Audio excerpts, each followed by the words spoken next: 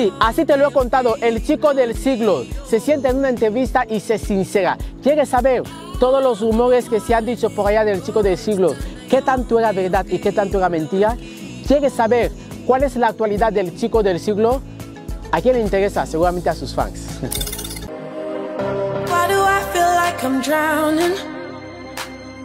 Like I'm running out of air. Richie, el chico del siglo. Es uno de los modelos ecuatorianos que actualmente vive en Estados Unidos. Recientemente se anunció que el modelo estrenará una entrevista en la que hablará sobre su vida profesional y personal, donde confesará algunos detalles interesantes.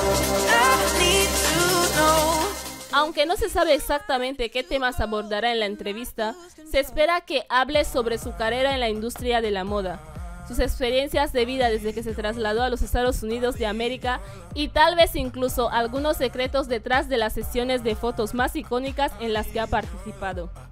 Además de su carrera como modelo, el chico del siglo también es conocido por sus apariciones en televisión y en las redes sociales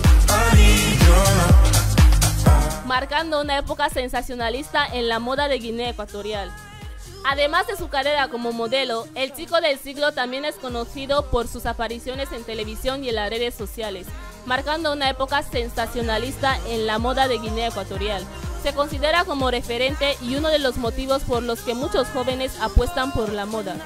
En la entrevista es posible que hable sobre detalles tan personales, como que ha sido padre de un niño llamado Tiago,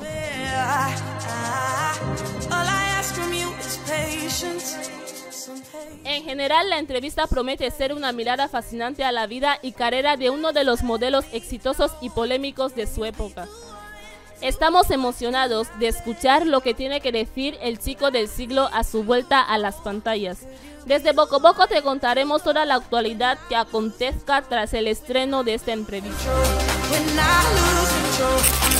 Hablar del chico del siglo no hace más que traerme recuerdos de momentos muy entrañables, ¿vale? Aquí, en Boco Boco, en Club Social, concretamente. Richie nos dejó unas imágenes prácticamente que pasarán como historia de la tele, de lo que es el show televisivo, quiero decir.